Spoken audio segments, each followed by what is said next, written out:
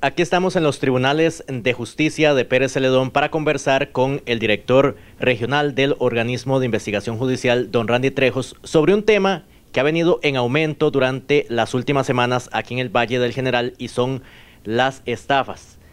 Mucha gente se está aprovechando de la situación pandémica que vive el país para sacar provecho con estafas y lamentablemente los generaleños están siendo víctimas de esta situación. Don Randy, gusto en saludarlo, bienvenido a TV Sur Noticias. Y bueno, me hablaba usted de en mayo, en lo que llevamos de mayo a hoy 15, 13 casos de estafas registrados aquí en Pérez Celedón. Sí, bueno, buenos días, eh, gracias por la oportunidad más bien y por su visita don Johan. Yo creo que es importante eh, hacer varias recomendaciones a la población, a la comunidad, a, la población y comunidad de Pérez Celedón y cantones vecinos, porque sí hemos tenido un incremento a raíz de la pandemia con respecto a los casos de estafas, principalmente eh, las estafas mediante llamadas telefónicas. Hemos hecho bastantes análisis en este momento de, los últimos meses. En, el mes de marzo tuvimos eh, actividad bastante ya eh, fuerte con respecto a este tipo de estafas y, eh, lamentablemente teníamos 6 para marzo, en abril subimos a 9 y ya en mayo vamos con 13 casos. Esto es preocupante porque sentimos que ahora con la pandemia, al estar las personas en la casa, pues atienden eh, más el llamado telefónico que hagan los delincuentes y lamentablemente estamos sufriendo una eh, un incremento, una alza en este tipo de delitos que queremos eh, ir a, llegar hasta las casas, ojalá que con estos medios de prensa, con los medios, con las redes sociales, advirtamos a la población, eh, ya el, sistema bancario lo está haciendo, ya nuestra dirección general lo está haciendo, este, y queremos más bien que las personas se pongan alertas, que estén alertas, porque este tipo de delito pues eh, normalmente tiene eh, una afectación económica bastante alta. Ya hemos visto ahí que se habla de 500 millones, hemos valorado con algunas entidades bancarias y cooperativas que efectivamente, eh, lamentablemente la afectación va más allá de, un monto pequeño, porque sí se convierten en montos elevados. Y lamentablemente yo creo que todo esto que estamos viviendo, el COVID-19, este tipo de pandemia que no es muy común y que algunas personas están haciendo teletrabajo y están en sus casas por alguna otra situación, este, está perjudicando y, y, se están aprovechando de la situación con este tipo de modalidad delictiva. Me comentaba usted, don Randy, que los delincuentes están aprovechando, por ejemplo, el tema del bono proteger para cometer este, este tipo de delitos. Sí, eh, esto es bueno. Recordemos que estamos en una emergencia. Eh, yo creo que todas las personas, hay personas que lamentablemente eh, se quedaron sin empleo o bien o se vio disminuido sus ingresos económicos y ya este bono proteger lo sabemos que es parte de la emergencia, pues lamentablemente también se están aprovechando la circunstancia.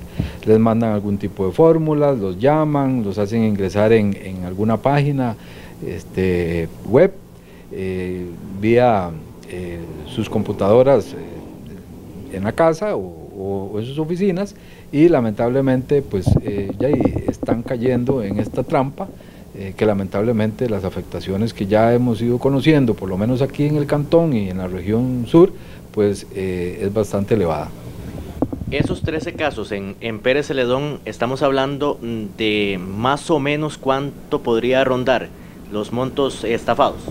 Bueno, en este momento tendríamos que hacer un análisis, eh, pero podemos hablar de cifras, cifras que van desde 40 mil, 50 mil colones hasta 12 millones de colones, por lo menos en algunos de los casos.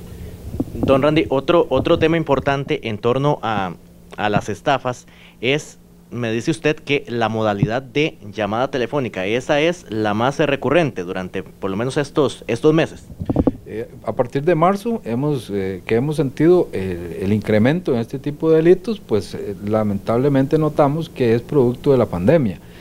muchas personas que están en sus casas, como les decía anteriormente, por alguna situación propia de, su empleo, ya sea teletrabajo, ya sea por eh, disminución de horas en, el ámbito laboral, pues lamentablemente se están aprovechando de las llamadas telefónicas y este es el medio que se están utilizando eh, más frecuentemente en estos últimos tres meses para eh, por lo menos aprovecharse de las circunstancias y poder llegar a, estafar con montos considerables.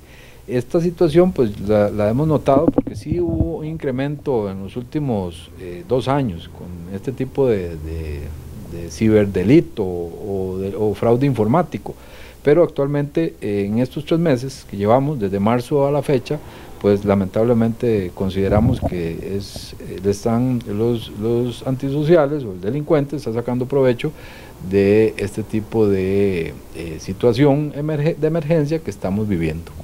Don Randy, por ejemplo, también eh, ustedes han hecho muchas campañas, hemos hablado varias veces del tema, pero la gente no entiende que no faciliten esa información tan, tan importante como números de cuenta, como números de, claves. Eh, ¿Por qué cuesta tanto que la gente entienda si, si está claro que el tema de las estafas es pan de cada día?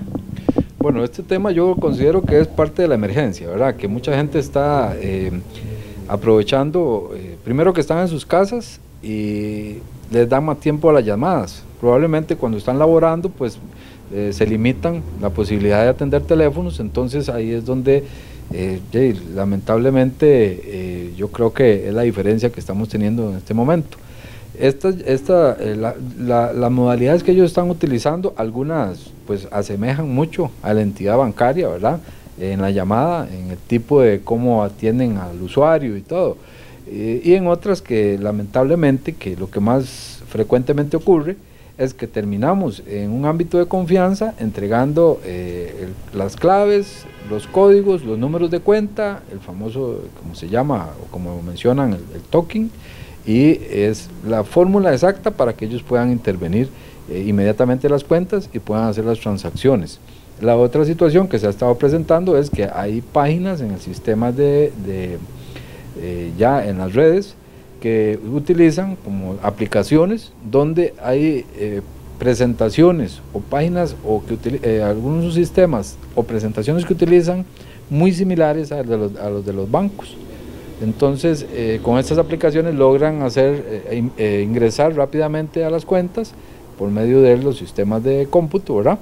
Eh, cuando la persona le brinda algún tipo de confianza y les brinda algún tipo de acceso a las redes, en las páginas ya sea o por medio de aplicaciones que ellos logran em, eh, intervenir eh, en, las, en, las, en las computadoras o en los sistemas que está utilizando el usuario en ese momento o la persona que está siendo afectada. ¿Siguen siendo estas llamadas en un alto porcentaje provenientes de centros penitenciarios? Una gran mayoría, pues yo creo que eh, las estadísticas lo han, lo han indicado. Recordemos que estaba por entrar ya el tema de eh, el bloqueo de las llamadas telefónicas en los centros penales, que por la pandemia, pues lamentablemente los técnicos que venían del extranjero no pudieron desplazarse, pero sí, desde, el punto de vista o el ámbito investigativo o policial, pues nosotros tenemos conocimiento de que gran parte de estos tipos de delitos pues vienen de, centros penitenciarios. ¿Alguna denuncia o por lo menos alguna pista más bien de alguna llamada que provenga del centro penitenciario de aquí, de Pérez Celedón? de este centro, pues nosotros hemos hecho ya rastreos telefónicos, muy eh, casi que la mayoría son del casco metropolitano o los centros que están más cercanos a, las provincias principales en San José. Don Randy, en cuanto a, a timos en, no sé, en la calle, ¿cómo se ha comportado también estos días de pandemia? Bueno, la delincuencia en general, pues hemos tenido una disminución en lo que son los robos, eh, en los que son los asaltos, por, por ahí tenemos una, una cifra este, bastante alentadora en ese sentido, porque tenemos una disminución. Pero sí, eh, lamentablemente, lo que hemos bajado en algunos delitos que son habituales en la zona, pues se están incrementando con la, la modalidad de estafas, ¿verdad? O fraudes informáticos. Randy, aquí vamos a, vamos a ser recurrentes. ¿Cuál es la recomendación que hace el organismo de investigación judicial? Lo hemos dicho un montón de veces, pero creo que es importante reiterarlo. ¿Cuál es la recomendación para esas personas que nos están viendo en este momento para que no caigan en una estafa y pierdan un dinero que hoy más que nunca hay que cuidarlo bastante? Sí, yo creo que estamos en tiempo de abstinencia, ¿verdad? Este, eh, en tiempos bastante complejos y y como ya hemos venido mencionando de emergencia, recomendarle a los eh, usuarios de los sistemas bancarios, de todos los sistemas eh, de, finanzas y del país, pues que en este momento yo creo que ellos han estado haciendo las advertencias y nosotros tenemos que terminar de recomendar de que por favor las llamadas telefónicas eh, en este momento son de alto riesgo. Llamadas donde indican que tienen que es actual para actualizar datos bancarios, llamadas pues, que vinculan a lo que es la emergencia con el bono proteger las llamadas de la fórmula de Hacienda, que hay que actualizar datos, todas esas eh, modalidades las están utilizando y lamentablemente la gente está cayendo muy fácilmente. Eh, recomendaciones, pues por favor, preferiblemente no atender las llamadas de este tipo y dirigirse inmediatamente o cortar la llamada y dirigirse directamente a la entidad bancaria para conocer si realmente ellos necesitan alguna información de, de sus cuentas. Y en cuanto a la denuncia, si quieren presentarla, recordemos tal vez el número de, del organismo aquí en Pérez Celedón. Perfecto, sí, el organismo acá tiene el número telefónico 2785-0378 para que llamen, consulten, eh, se asesoren y cualquier cosa, pues si no, personalmente aquí en plataforma estamos atendiendo las 24 horas del día. Eso es un detalle importante para terminar. El OIJ en medio de la pandemia sigue, sigue laborando 24 horas. Nosotros no hemos parado, seguimos laborando, estamos, eh, por supuesto que al inicio de la pandemia pues empezamos a hacer algunas valoraciones eh, con algunos eh, casos de atención de forma esencial, pero ya casi el sistema judicial está operando de forma permanente y como lo es habitual. Perfecto, gracias a don Randy Trejos, director regional del organismo de investigación judicial, que nos hablaba de este tema importante, a ponerle mucha atención a las estafas y a seguir las recomendaciones que hacen los expertos. Esta es una información desde los tribunales de justicia de Pérez Celedón, aquí en TV Sur Noticias.